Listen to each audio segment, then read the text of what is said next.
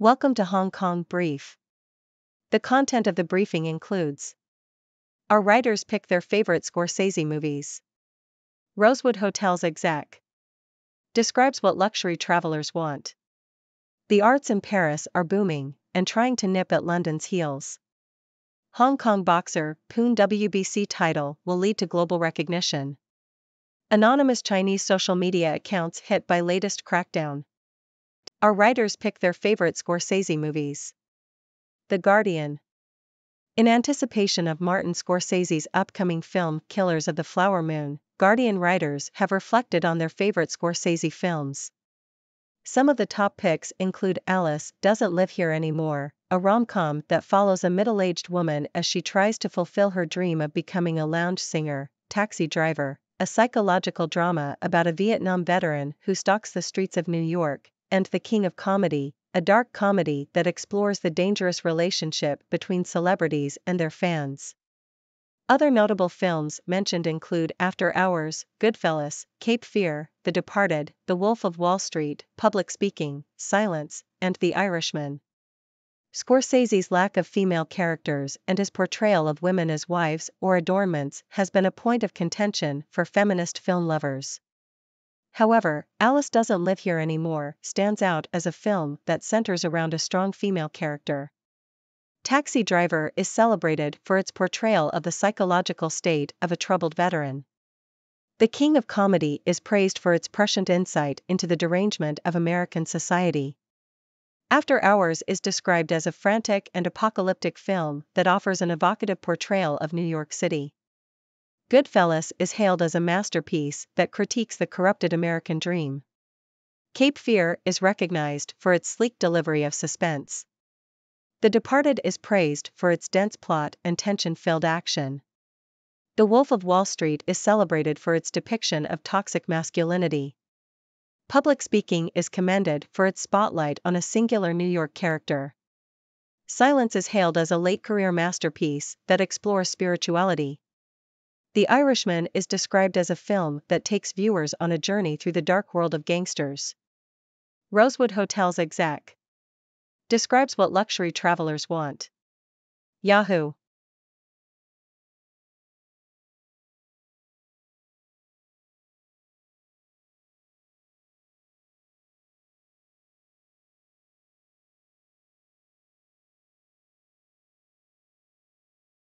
The arts in Paris are booming and trying to nip at London's heels. Economist Paris is becoming a major player in the global art market, challenging London for its position as the art hub of Europe. Auction houses and international galleries are increasingly choosing Paris over London, with Sotheby's holding 140% more auctions in Paris in 2017 than in 2013, while Christie's moved its Italian sale from London to Paris last year. Furthermore, French auction sales accounted for 54% of all art transactions by value within the EU, compared to just 7% for the UK. The growing interest in Paris is partly due to Brexit, with buyers and sellers of art increasingly inconvenienced by import duties and bureaucracy. However, Charles Stewart, Sotheby's CEO, believes that Paris's recent success is also due to the collision of luxury and culture, and luxury and art. Luxury goods firms have established art foundations in Paris, including the Fondation Louis Vuitton, which is currently exhibiting a multi billion dollar retrospective of Mark Rothko's work. In addition, the French government is actively trying to preserve the country's appeal to art buyers. Hong Kong boxer Poon WBC title will lead to global recognition. South China Morning Post. Hong Kong boxer Raymond Poon Kai Ching will fight Wichit Sengpreken of Thailand next week in a bid to reclaim the vacant WBC Asian Continental Light Flyweight title. Poon sees the fight as an opportunity to gauge himself against the best in the world and hopes to challenge a former world champion. Poon previously won and defended the WBC Continental Light Flyweight belt in 2018 before losing it to Li Xiong of China in 2019. The 27 year old wants to test his stamina and prove that he has improved since his defeat to Li. Anonymous Chinese social media accounts hit by latest crackdown. South China Morning Post. Chinese social media platform Weibo is requiring users with a large following to disclose their real names, a move that has sparked concerns about privacy violations and increased online exposure. The new policy will mainly affect influencers who regularly post about politics, finance, and entertainment. Users with more than 1 million followers will need to comply by the end of October, while those with 500,000 to 1 million followers have until the end of the year. Weibo has started reaching out to influencers to inform them of the changes and ask for their consent. The move is part of a broader effort by the Chinese government to increase control over self media, or accounts that publish news and information but are not affiliated with official media. Critics fear that the new rules will further suppress public expression on China's heavily restricted internet, while supporters argue that influencers should take more responsibility and be transparent about their identities. World Bank's bold new thinking on how to finance a better world. South China Morning Post. The head of the World Bank, Ajay Banga, has outlined a new form of capitalism called institutional capitalism at the recent annual meetings of the IMF and World Bank. Banga suggested that the massive hoard of global private savings, amounting to $70 trillion, could be used to finance critical objectives such as climate change alleviation and infrastructure building. He proposed that multilateral institutions like the World Bank guide private institutions towards development projects, beginning with renewable energy projects. This would require financial engineering but is more feasible than relying solely on private financial institutions to provide the necessary funds. Haughey sets new 50m mark at World Cup meet, McKeown makes backstroke history.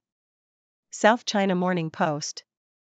Australian swimmer Kaylee McKeown has set a new world record in the 50 meter backstroke, becoming the first woman to hold world records in all three backstroke disciplines. McKeown clocked a time of 26.86 seconds at the World Cup in Budapest, beating the previous record of 26.98 seconds set by China's Liu Xiang in 2018.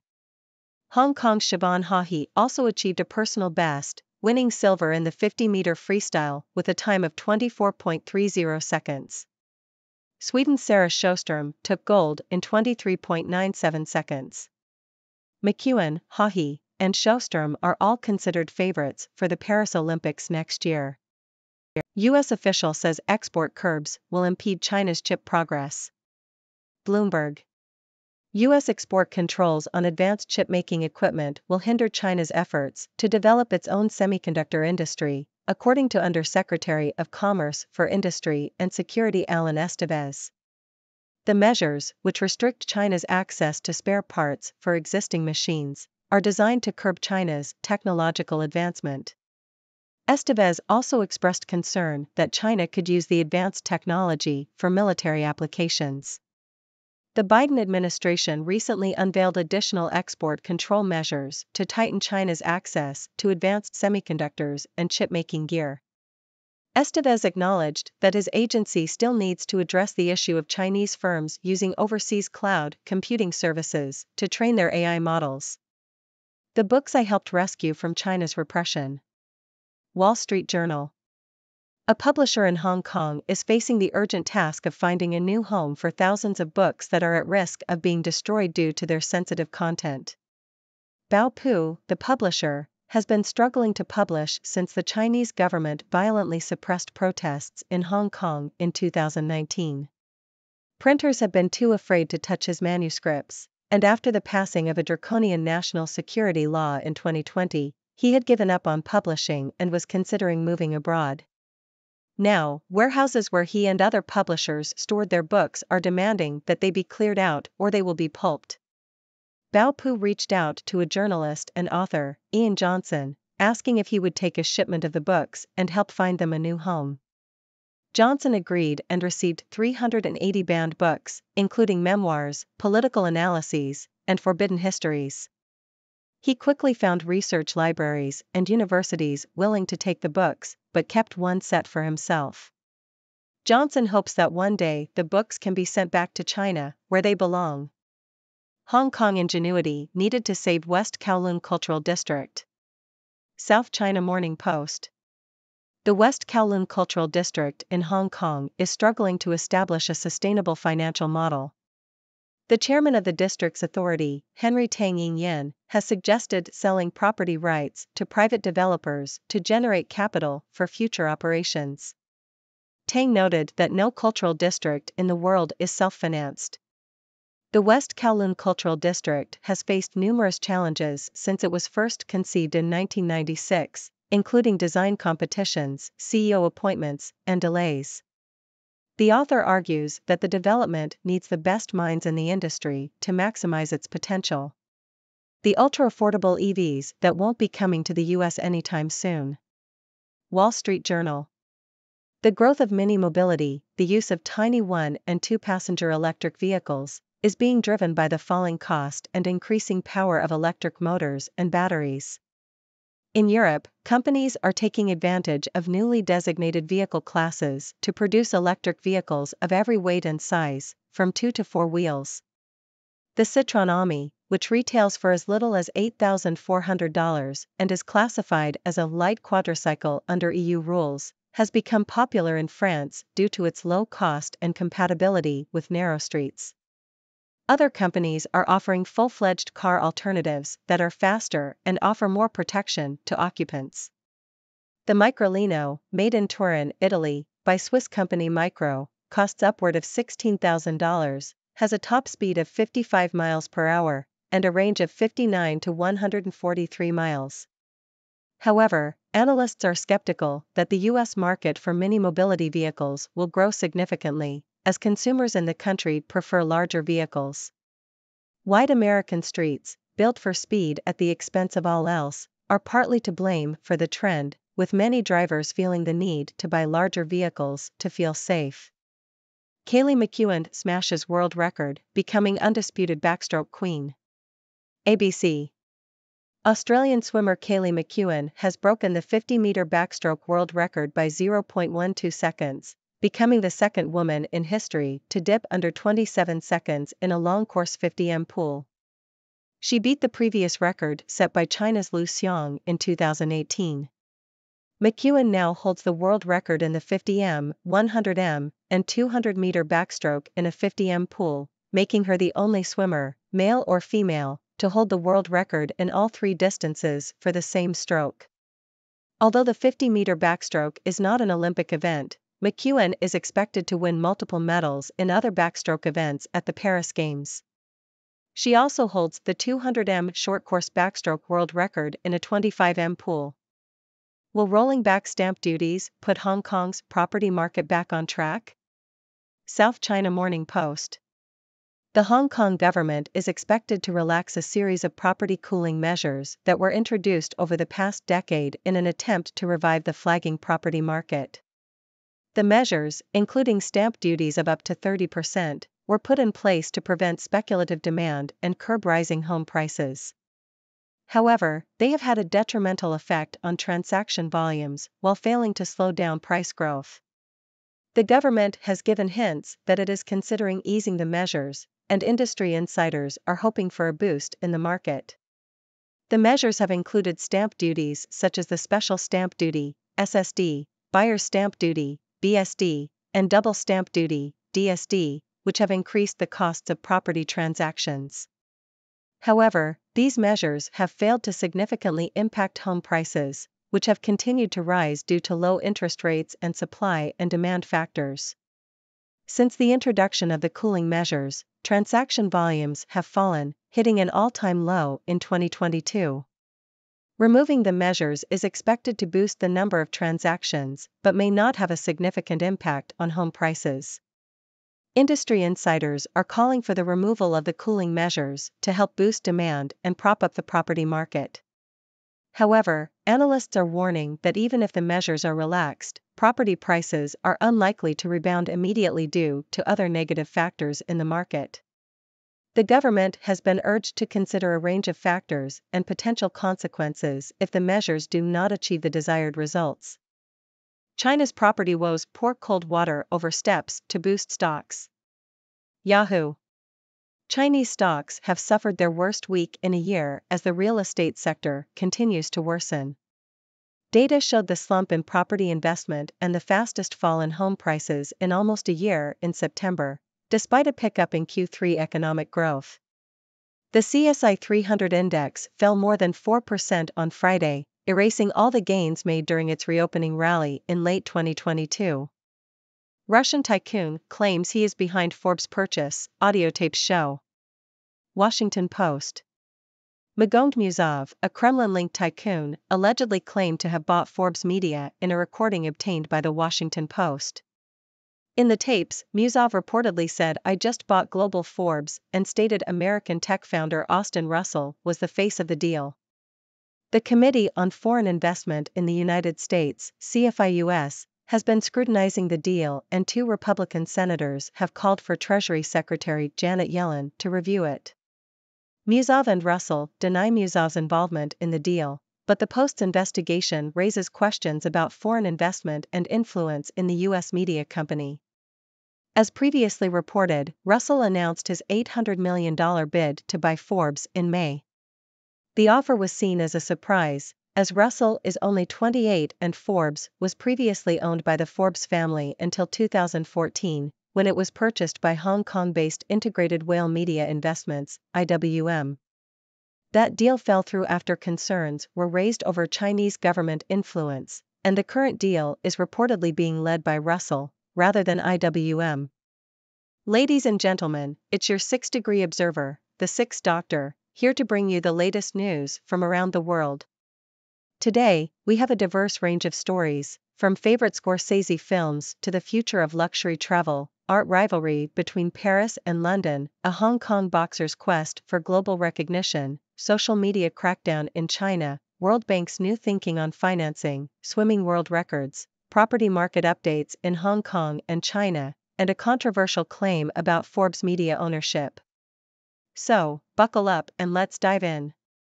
Starting with the world of cinema, The Guardian has compiled a list of favorite Martin Scorsese films, with classics like Taxi Driver and Goodfellas making the cut. But it's Alice Doesn't Live Here Anymore that stands out for its strong female lead, a rarity in Scorsese's filmography. Moving on to the world of luxury travel, Rosewood Hotels is set to have a banner year in 2022, according to its president Radha Arora. Luxury travelers are seeking immersive experiences and longer stays, with Hong Kong, Paris, and London being top destinations. In the art world, Paris is challenging London's status as the art hub of Europe, with auction houses and galleries increasingly choosing the French capital over London. This trend is partly attributed to Brexit and the collision of luxury and art in Paris. Meanwhile, Hong Kong boxer Raymond Poon Kai Ching is aiming to reclaim the vacant WBC Asian Continental Light Flyweight title, which he sees as a stepping stone to global recognition. In China, social media platform Weibo is cracking down on influential users, requiring them to disclose their real names. Critics fear this move could further suppress public expression, while supporters argue for more transparency and responsibility from influencers. Shifting gears to the world of finance, the head of the World Bank, Ajay Banga, proposes a new form of capitalism called institutional capitalism, aiming to use global private savings to finance critical objectives like climate change alleviation. In the realm of sports, Australian swimmer Kaylee McKeown has broken the 50 meter backstroke world record, becoming the second woman in history to dip under 27 seconds in a long course 50m pool. And speaking of records, the Hong Kong property market is hoping for a revival as the government considers relaxing property cooling measures. However, analysts warn that the removal of these measures may not lead to an immediate rebound in prices. Moving on to China's property market, it's facing significant challenges, with falling prices and slumping investment. This has had a negative impact on Chinese stocks, which suffered their worst week in a year. Meanwhile, a Russian tycoon has claimed to have purchased Forbes Media, raising concerns about foreign investment and influence in the US media landscape. Phew, that was quite a whirlwind tour of today's news. Now, let's dive into some analysis. In the world of cinema, it's clear that Martin Scorsese has left an indelible mark on the industry with his diverse range of films. While some criticize his lack of female representation, Alice Doesn't Live Here Anymore stands out as a film that bucks the trend. In the world of luxury travel, it's interesting to see how immersive experiences and longer stays are becoming increasingly important to travelers. It seems people are looking for more than just a fancy hotel room, they want to truly immerse themselves in the culture and environment of their destination. In the art world, Paris is making a strong bid to challenge London's dominance. The collision of luxury and art in Paris, along with favorable Brexit related factors, is drawing auction houses and galleries to the French capital. It will be intriguing to see how this rivalry plays out in the coming years. In the sports arena, Kaylee McKeown's record breaking achievements are truly remarkable. She is cementing her status as a backstroke queen and is expected to be a force to be reckoned with at the Paris Olympics. In the finance world, the World Bank's new approach to financing critical objectives is certainly intriguing. It's a bold idea to tap into the massive private savings available globally, and it will be interesting to see how this concept develops. And finally, the property markets in Hong Kong and China are facing their own unique challenges. While easing cooling measures may boost transaction volumes, it may not have an immediate impact on prices. The property market is a complex beast, and it will take a combination of factors to stabilize and revitalize it. Now, my dear viewers, it's your turn to join the discussion. What are your thoughts on Scorsese's films? Have you had any memorable luxury travel experiences? Which city do you think will come out on top in the art rivalry between Paris and London? And what about the future of China's property market? I'm eager to hear your insights and answer any questions you may have. So, let's get the conversation rolling. Thank you for tuning in. The content above showcases the latest briefing reports and analytical synopses, thoughtfully curated by the 6Do team. These insights stem from a wide array of reputable media outlets, think tanks, government sources, and specialized experts worldwide. We encourage you to explore these sources for a comprehensive perspective. Keep in mind that while the content may not always align with the official standpoint of 6Do Brief, it's not meant to be taken as absolute directives for decision making. Comprising seasoned media professionals, learned scholars, and accomplished scientists, the 6Do team embodies a trailblazing, fully independent media entity. To customize 6Do Brief to meet your professional needs, you have the option to subscribe to a diverse array of briefings on our website, 6dobrief.com. Regardless of your location, you can conveniently receive 6Do Brief via email.